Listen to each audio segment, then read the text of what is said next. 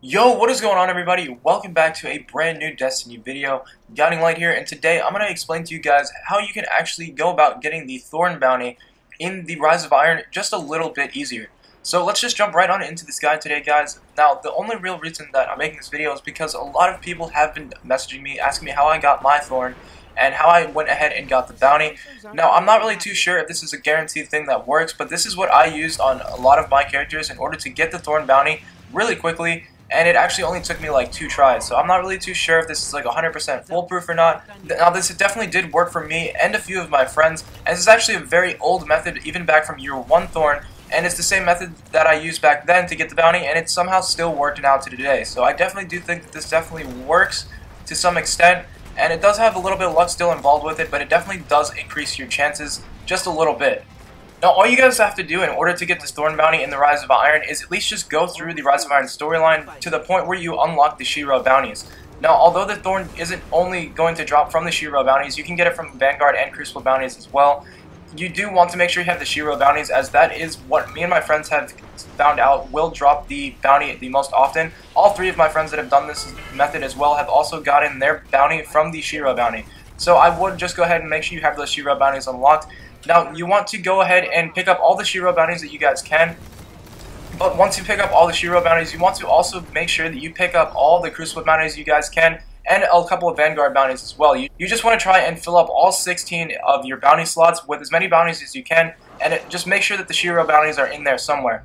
Now, once you guys have all your bounties, it's really going to depend on what day it is and what kind of bounties you guys got. But generally, all you guys really need to do is just go and complete all the bounties that you can. You want to complete all the Vanguard, Crucible bounties, just whatever you guys end up picking up. And then lastly, you want to go ahead and complete your Shiro bounties.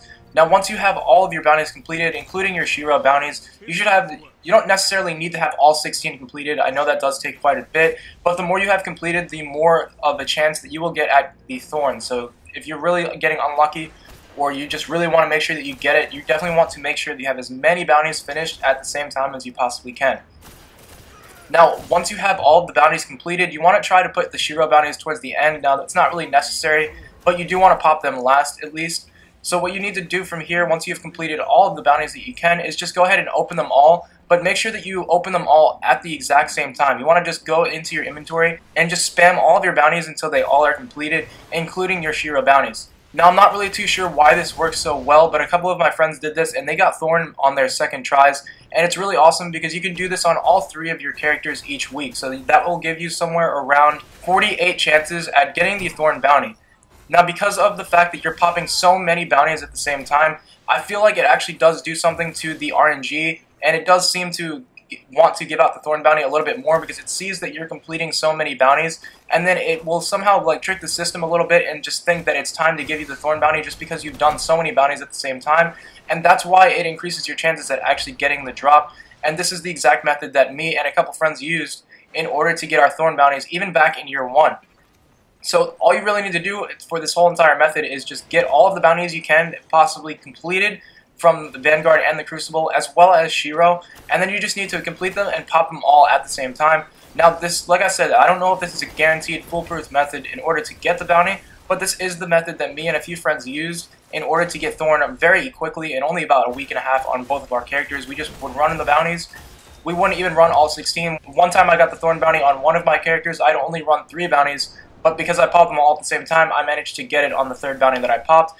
And I do know on one of my other characters, when I popped about 14 bounties all at the same time, I ended up getting that around my 7th or 8th bounty. So, uh, like I said, I'm not too sure if this 100% does work, like this is going to just guarantee you a Thorn bounty.